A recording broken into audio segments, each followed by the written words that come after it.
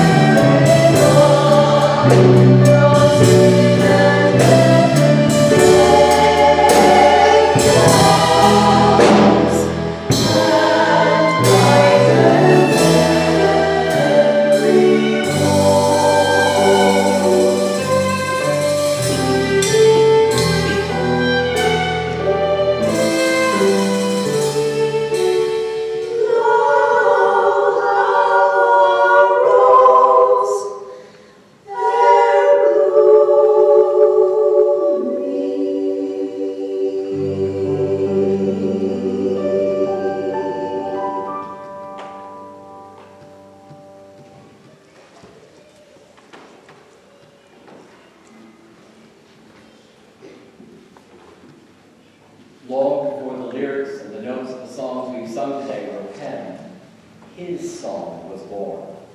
It was finally given voice with the baby's first cry from the Bethlehem manger. And as Joseph and Mary humbly watched, his child of theirs, a child that had brought such uncertainness and bewilderment, became the centerpiece that would connect all mankind. That night, in a field near Bethlehem, there were shepherds watching over their flocks.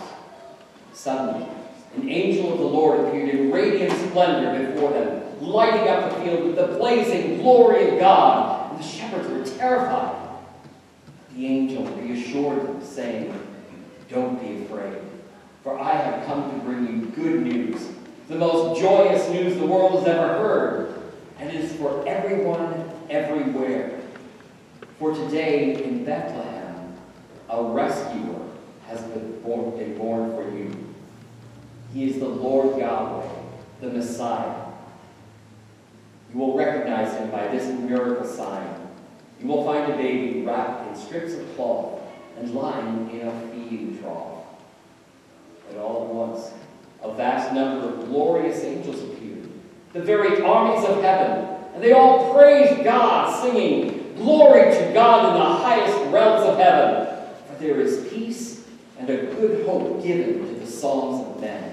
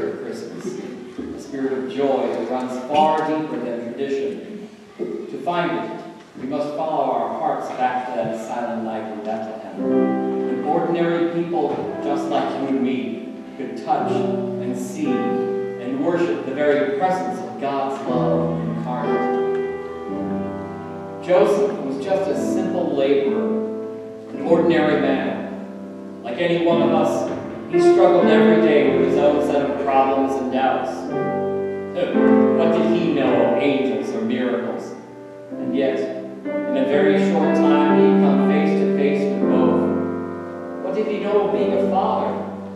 Yet here he was, holding in his strong arms the newborn Son of God. How could it be?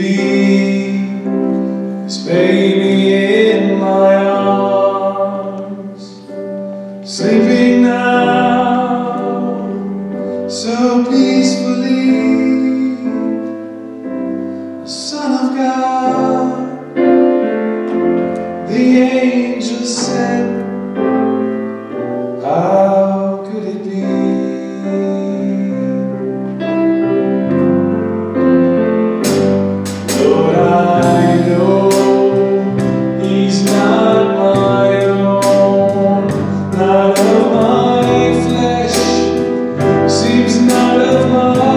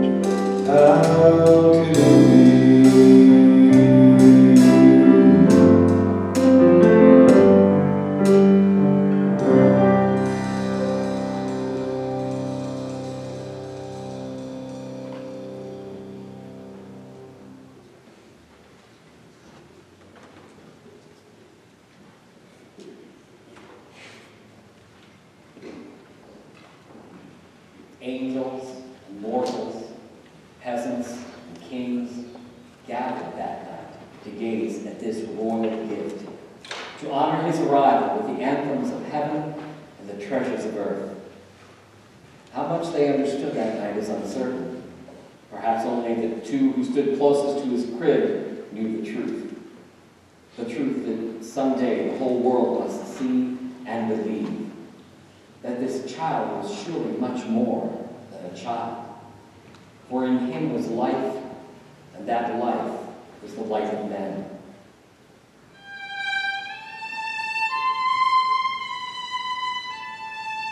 Each year, each Christmas, it always seems to come down to this scene. The nativity, full of people who found their way to the manger with the help of heavenly light.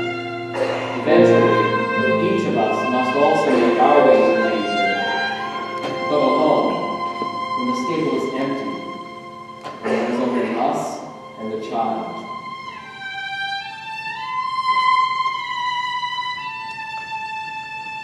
But our road is not as clearly lit as the one to Bethlehem. Angels don't come in the night to answer our questions. Stars seem remote, even cold.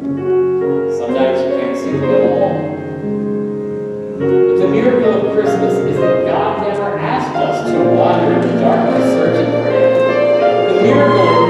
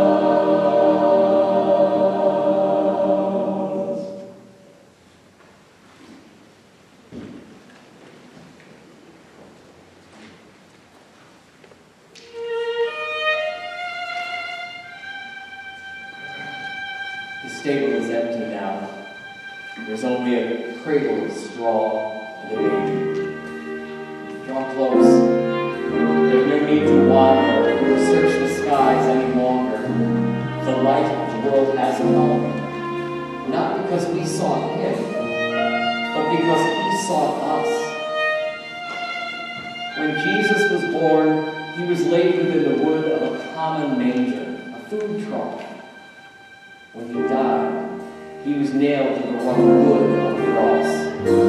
He defeated the darkness of this world, in the grave, he rose on high to eternal life. Then he turned and extended this life everlasting back to us. This is Christmas. This is what the world has been searching for. Not nostalgic memories or good feelings, or even peace on earth, goodwill toward men.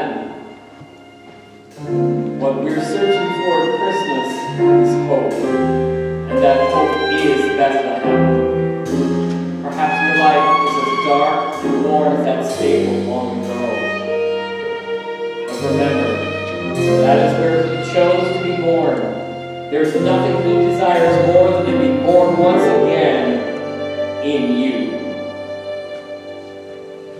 Jesus came into the world so simply, wrapped in rough homespun, watched over by field animals, cared for by simple folk. Yet each person who knelt before the manger bed that night came away forever changed. And this miracle is still happening thousands of years later to all who come with open hearts to meet the Christ child.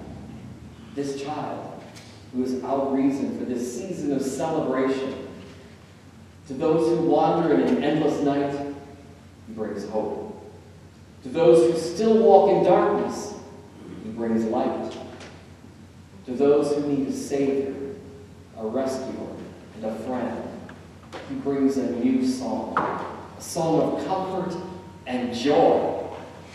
He did not choose to come with a flourish of trumpets befitting a king. Instead, he came in innocence, in a manger, wrapped in simplicity, so that all mankind could learn to sing his song.